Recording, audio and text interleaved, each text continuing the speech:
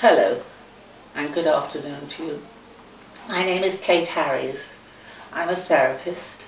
I'm semi-retired and because I'm semi-retired I have time now to help the people of the world who maybe couldn't afford to pay my fees as a therapist. And because I'm semi-retired I have time to give time to you, the world, and to help change your lives. Because as far as I'm concerned, the whole world is in a mess. And we the people are suffering because of it. And we have little control of what goes on around us. But I want to give you control over your life. I will teach you how to have control over your life. I will teach you how to have control over your emotions.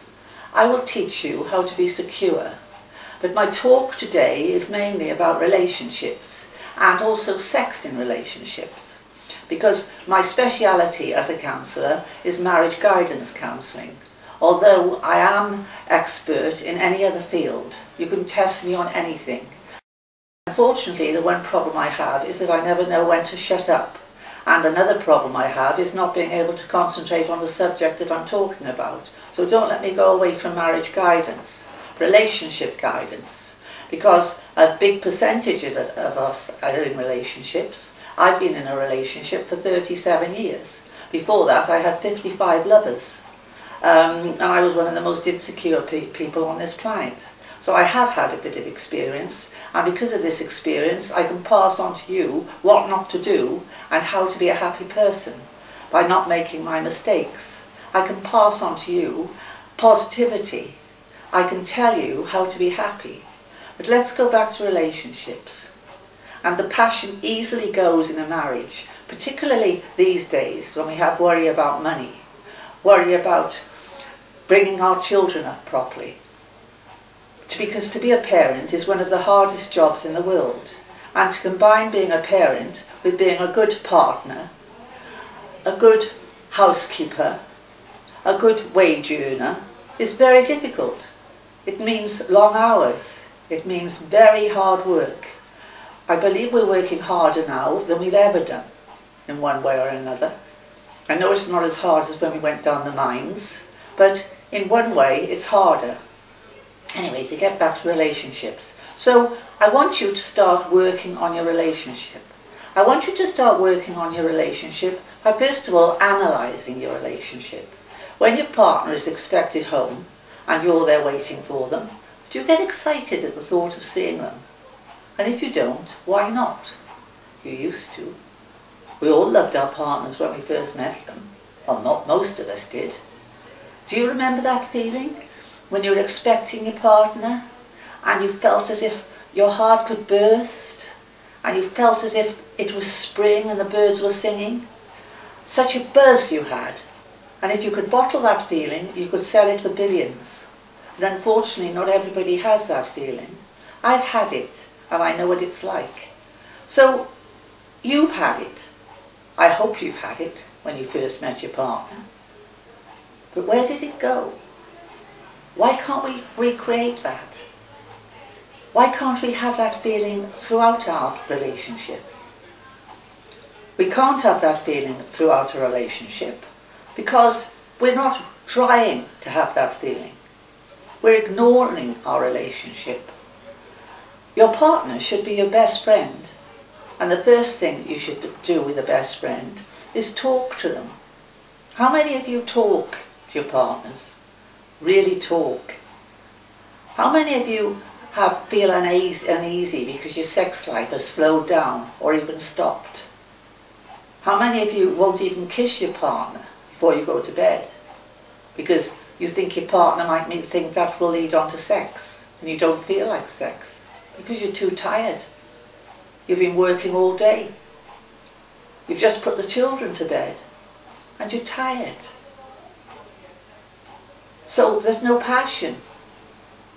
So you feel uneasy. So if you don't kiss your partner, he's going to think, or she's going to think, well, where's the affection in this relationship? Because you're frightened of affection. You're frightened the affection will turn to uh, sex. But the, but the affection has to come back. And if the affection is stopped because of the worry you have about your sex life, which you feel isn't working well, then you must talk to your partner. You must explain to your partner. You must tell your partner, I don't really feel passionate toward you anymore. When you walk through the door, I don't see this beautiful person who I fell madly in love with. I see bills and a ball and chain and responsibility. Because when I look at you, I see work. That could be the scenario you're in. Many of us are in that scenario. So we have to change it. Because your partner is picking up on all of this. And if you carry on the way you are, you'll be sleeping in separate beds. And you loved your partner at one time, and unless they've done some awful thing to stop that love, you can love them again and you love them again because it's good for your relationship. Don't accept mediocre in your, in your relationship. So start working on your relationship. And the most important thing to do to work on a relationship is to talk to one another. And to talk to one another is very difficult these days, these days of computers and televisions. We go home and we completely opt out. On the goggle box, the TV, which I will talk about on another day, because that is another subject. The TV. We don't sit around the table and have a nice dinner together anymore. We have a dinner on our lap while we're watching the TV. So we go to bed and we haven't really said any words of consequence to one another. So you must alter that. And if you have children in the house who are over six, they pick up everything you're saying. So it's difficult to talk to your partner when the children are, are, are around. Because there are some sensitive issues that you need to talk to. But the children can't hear them. So it's more difficult. So you must go out with your partner at least once a week. Even if it's to go to the beach and look at the sea. Because you must talk to your partner. Tell your partner exactly how you feel. Your partner is your best friend. Don't forget that. And I want you to start working on that relationship of yours to get that best friend back. Because if you're not happy within your home and within your relationship, how can you be happy in anything else? And if you're in an unhappy relationship and you have children, the children will pick up on it. So think of the children. But having said that, don't stay in a, in a relationship because of the children. You're not doing the children any favours. Because the children are going to sense the antagonism between you and your partner. So think strongly about that. Obviously, the last resort is separation, because we all know the harm that separation does to children. Children need two parents, and even with two parents, to be a good parent is the hardest job in the world. And you must do that job properly. And I urge you, if you don't have children, think very seriously before you have them. Think seriously whether you have a secure enough relationship to bring children in. Don't have a child because you think it'll help the relationship. It won't. It's easier to finish work and go off to the pub and go off to the restaurant and have fun than to go home and do and change nappies. But that creature who wants attention 24 hours a day, I use the word creature lightly, I have three children myself, so I know what it is to be a parent.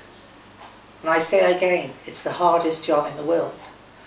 So you have, you're considering your children, you're considering the welfare of your children, you're thinking, worrying about your children maybe, maybe one of your children is being bullied That's another subject we will address.